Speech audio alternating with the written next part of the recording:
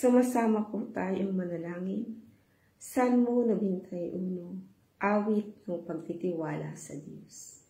Siyang naghahangad ng pagkukup ng kataas-taasan at nanatili sa kalingan yung makapangyarihan, makapagsasabi sa kanyang Panginoon, mugkat tahanan, ikaw ang aking Diyos, ang Diyos na tangi kong pinagtiwalaan. Ika'y ililigtas niya sa panganib sa umang nabitag, at kahit anumang mabigat na salot, di ka magdaranas. Lulukuban niya sa lilim ng kanyang malabay na pakpak. Sa kalinga niya ay natitiyak mo na ikaw ay ligtas. Iingatan niya at ipagsasanggalang pagkat siya'y tapat. Pagsapit ng gabi, di ka matatakot sa anumang bagay.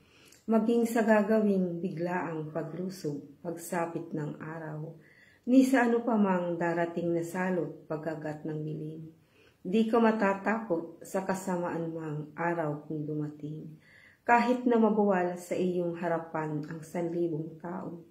Sa iyong paligid ang bilang ng patay maging sampung libo.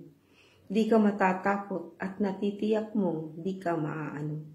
Ika'y nagmamasid at sa panonood iyong mamamasdan yaong masasama ay makikita mong pinarurusahan, sapagkat si Yahweh ang iyong ginawang tagapagsanggalang, at ang pinili mong mag-iingat sa iyo'y kataas-taasan. Di mo aabuting ikay mapahamak at walang daratan, kahit anong uring mga paghihirap sa iyong tahanan. Susuguin niya ang maraming anghel silang susubaybay kahit sa ang dako, ikaw maparoon, tiyak iingatan. Sa kanilang palad ay itatayo ka silang magtataas, nang hindi masaktan ang mga paa mo sa batong matalas. Kahit ang tapakan mo ay mga leon, ahas na mabagsik. Di ka maaano sa mga serpiente, liyong mababangis. Ang sabi ng Diyos, aking ililigtas ang tapat sa akin at iingatan ko ang sino mang taong ako'y kikilanlin. Pag sila'y tumawag, laging handa ako na sila ay pakinggan. Aking sasamahan at kung may hilahil ay sasakluluhan. Aking ililigtas at ang bawat isa ay pararangalan. Sila'y bibigyan ko't gagantimpalaan ng mahabang buhay at nakatitiyak na ang tatamuhin nila ay kaligtasan Maaaring ipinid ko ang langit at hindi pumatak ang ulan. Maaaring magpadala ako ng mga bala upang sarantain ang lupain ito. Maaaring palaganapin ko sa aking bayan ang salot.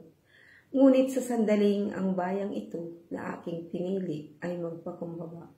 Manalangin, hanapin ako at talikdan ang kanilang kasamaan.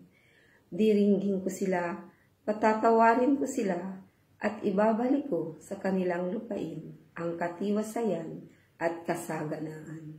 Ito ang mga salita ng Diyos. Salamat sa Diyos.